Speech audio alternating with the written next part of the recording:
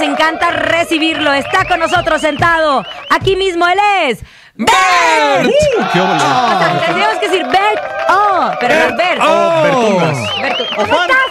Bien, ¿y ustedes qué tal? Andas de tour promocionando. Sí, andamos de aquí para allá, del Me tingo al encanta. tango. Oye, mi ex suegro, pues ha tenido a bien remontar. Ay, perdón, lo dije me lo que. pero ¿por ¿De qué habla, Que señora? mi ex suegro ha tenido a bien montar la nueva temporada de este éxito, ¿no, verdad? Ah, o sea, Eugenio Derbez. Eugenio Derbez. ¿José Eduardo o, o Badir? Sí, José, José Eduardo, Eduardo, José José Eduardo. Pero no vamos a hablar de eso porque se No, pone a vamos a llorar. hablar de eso. Oye, Bert, platícame un poco. Eres influencer, comediante, de todo a través de las todo redes menos sociales. comediante. Comediante no, no le manejamos. com- sí manejas comedia. No. ¿Cómo nada. no? ¿Y cómo es que entras a LOL? Pues querían a alguien que hiciera el ridículo, yo creo. Ay, qué hermoso, me es que, encanta. ¿sabes? Hay comedia de la voluntaria y de la involuntaria. De Exacto. la que quieres que se rían, yo hago de la que se ríen de mí, güey. De- de- pues, o sea, pero tus compañeros o tus amigos no te dicen, no, es que te deberías dedicar a la comedia. No, no, Nada, no, para nada, nada, de eso. Yo soy el público eh, genial, el público ideal para los comediantes porque yo me río muy fácil y de todo. O sea, yo estoy escuchando un stand-up, un programa de comedia, voy a un show, una obra de teatro Eres un y soy público de los generoso. que se ríen, o sea, hasta, hasta hacerme pipí. Soy de ese público. Y este por concepto me acá. encanta que Eugenio pues ha venido haciendo desde hace varias temporadas, que es LOL.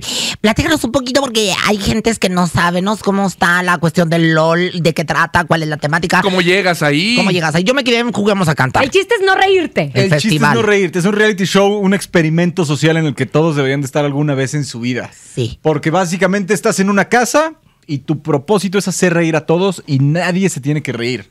Entonces hay muchos comediantes que se están todo el tiempo lanzando chistes, pero imagínate que lanzas uno y otro y Nadie se otro. ríe, Te la Nadie se ríe, como si estuvieras en el teatro y nadie se ríe, dices, ahí va otro mejor y nadie se ríe, te empiezas a preguntar, ¿será que doy asco, doy pena? ¿Doy o tal miedo? vez sí está dando risa, pero estos güeyes no se quieren reír. Pero ambos eh, hacen diferentes roles, ¿no? Tanto, por ejemplo, me imagino que tú también tuviste que hacer reír a algunos o no. Sí, tú tienes que hacer reír o ver los shows para reírte y de repente hay un show que se llama como el Brillas o te humillas, Ay. que tienes que preparar un número. ¡Dios, y no O podría! brillas haciendo reír o literalmente Bueno, pero si dices que te ríes muy fácil, entonces fue todo un ¿Cómo le reto haces? estar en LOL. Ah, pues fue lo más difícil. Yo por eso entré. A mí me dijeron, ¿quieres entrar? Y básicamente entré porque necesitaba dinero. Ay, me encanta. Yo también empecé a Yo soy esa porque persona. Yo soy dinero. esa persona Ah. que lo que me digan, oye, hay un jalo.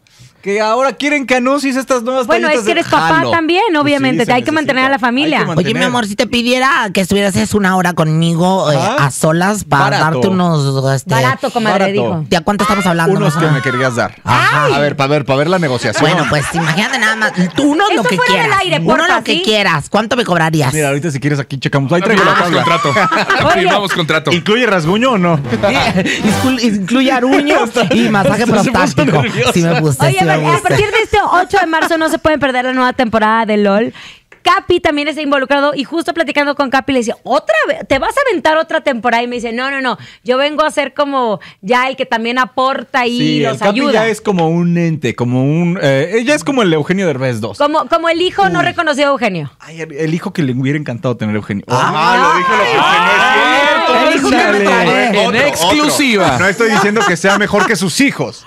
Ah. Todos que tienen talento y gustado. todos lo han hecho sí, bien. José Eduardo tiene un talento impresionante. No, Oye, una masa con- Ricardo, Ricardo, que es este. Ricardo lo tiene el lo José tiene. Eduardo, ¿no? No, espérate.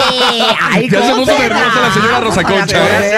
¿Con quién, ¿Con quién compartiste en esta temporada? Con todos, con todos. No a todos los conocía. Por ejemplo, a la Chingu ya la conocía.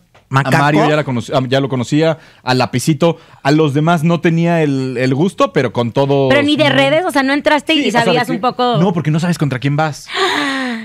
Oye, Eso es bueno. Eso es muy bueno. Eso es una- Hasta que entras a la casa te das cuenta y yo estuve tratando de investigar. Yo soy muy fan de los comediantes en México. Ajá. Estuve siguiendo las redes de todos. A ver si subían Para algo. ver si alguno de repente, porque unos días antes te encierran en un hotel.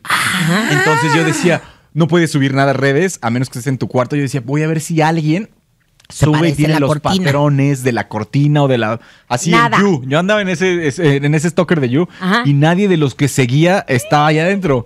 Y fue como que, ay, ¿sabes? ¿Contra quién vas? Ese, Y ese nada, miedo. hasta Y que nada, llegaste. solo le atiné a uno.